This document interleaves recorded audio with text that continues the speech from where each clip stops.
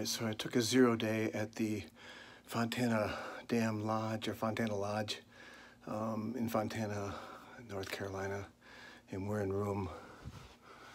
I was in room two. So zero day at uh, Fontana Lodge.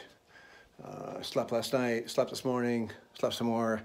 I got to get some pillows down here on the floor and do some stretching, and get my legs stretched out and rolled out again today, and then I'll be able to get in the uh, park tomorrow and put some miles on. Hope to get in 11 or 12 or 13 miles tomorrow and get to a shelter.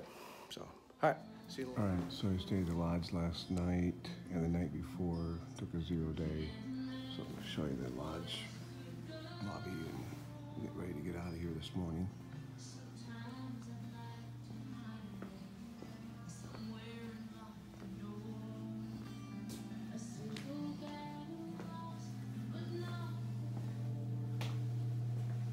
A little resupply